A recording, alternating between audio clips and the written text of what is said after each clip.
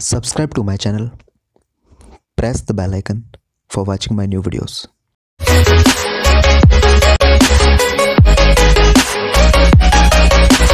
Hello hello hello नमस्कार दोस्तों, आप देख रहे हैं ऑलवेज न्यू मूवी अपडेट्स आज इस वीडियो में मैं आपसे बात करने वाला हूँ चपाक मूवी के बारे में। जैसा आप सभी को पता ही होगा कि चपाक मूवी यानी कि दीपिका पादुकोण की मूवी बॉक्स ऑफ़िस में इस मूवी को रिलीज़ किया गया था तानाजी दनसंग बुआरियर मूवी के साथ।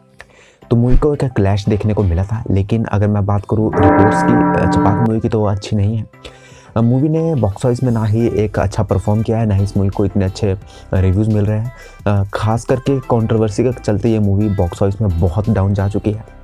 अगर आपसे कलेक्शन की बात करूँ तो मूवी को अपने एट्थ डे में, यानी कल के दिन ऑफिशियल मूवी ने वन करोड़ के आसपास का कलेक्शन किया है। टोटल कलेक्शन हो चुका है twenty nine crore thirty eight lakh और अगर मैं बात करूँ मूवी के वर्ल्ड वाइड की तो अराउंड फोर्टी फोर करोड़ का कलेक्शन मूवी ने किया है।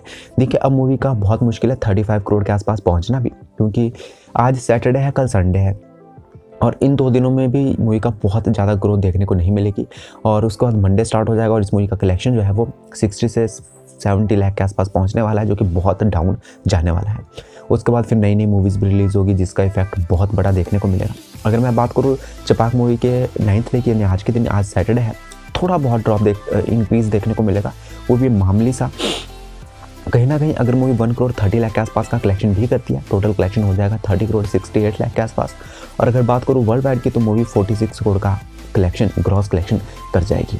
अब ये तो रही चपाक मूवी की अपडेट्स अब आप मुझे कमेंट बॉक्स में लिख के बताएँ कि आपको क्या लगता है कि चपाक मूवी का फाइनल कलेक्शन कितना होने वाला है? और आपको क्या लगता है क्या ये मूवी फोर्टी करोड़ के आसपास पहुँच पाएगी? इंडिया में नेट और वर्ल्ड वाइड में अराउंड सिक्सटी करोड़ के आसपास ग्रॉस या नहीं? अगर आपको वीडियो पसंद आई अगर आप चाहते हैं कि मैं इसी तरह से लेटेस्ट अपडेट आप तक पहुँचाता रहूँ तो आप चैनल को सब्सक्राइब कर लें और बेलाइकन को भी प्रेस करें। मिलते हैं अपने नेक्स्ट एपिसोड में, तब तक के लिए धन्यवाद।